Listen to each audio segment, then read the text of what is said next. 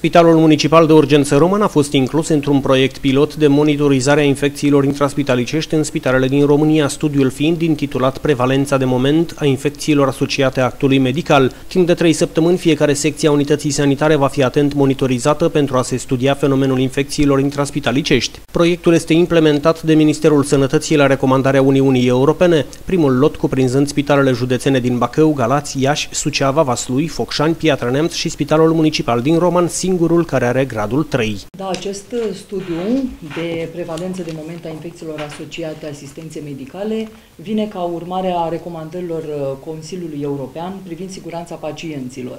Și înainte să vă prezint câteva cuvinte despre ce înseamnă practic acest studiu de prevalență, uh, spunem cu încântare că spitalul nostru, Spitalul Municipal de Urgență Roman, a fost inclus în uh, primul lot de Um, spitale evaluate, uh, alături de Spitalul Județean Bacău, de Spitalul uh, uh, Clinic de Urgență Galați, de Spitalul Clinic de Boli Infecțioase Sfânta Parascheva Iași, de Spitalul Sfântul Spiridon Iași, Spitalul Județean de Urgență Piatra Neamț, Spitalul Județean de Urgență Sfântul Ioan cel Nou Suceava, Spitalul Județean de Urgență Vaslui și Spitalul Județean de Urgență Sfântul Pantelimon, Pantelimon Focșani. Practic, spitalul nostru este singurul spital municipal introdus în uh, prima categorie, adică alături de spitale județene și acest lucru s-a întâmplat datorită faptului că avem gradul 3 al spitalului și că avem un număr mare de paturi, respectiv 666 de paturi. Scopul proiectului este găsirea celor mai eficiente metode de prevenire a apariției infecțiilor asociate actului medical și găsirea soluțiilor de diminuare a consumului de antibiotice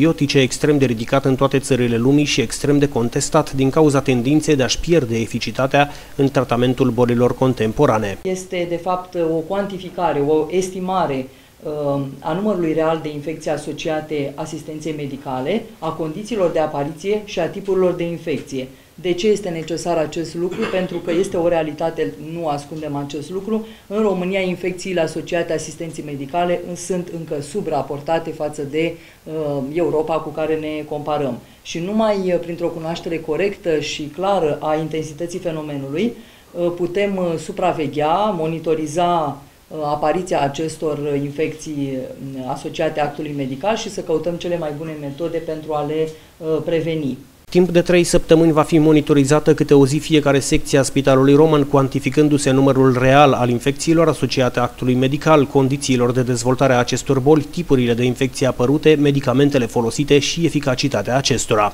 Derularea acestui studiu Mm, va fi pe parcursul a trei săptămâni. Uh, fiecare secție din spital va fi inclusă în acest studiu. Uh, fiecare, fiecarei secții îi sunt alocate doar o singură, este alocată doar o singură zi.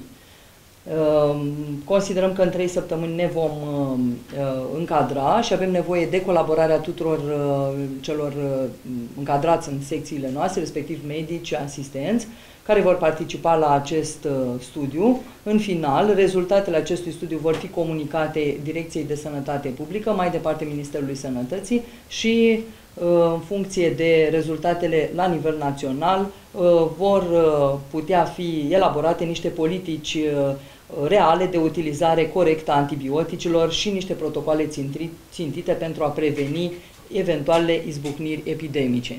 Spitalul Municipal de Urgență din Roman are gradul al treilea și funcționează cu 666 de paturi în regim de spitalizare continuă sau de zi. Rezultatele comunicate la DSP și București vor sta la baza elaborării unor politici reale de sănătate publică.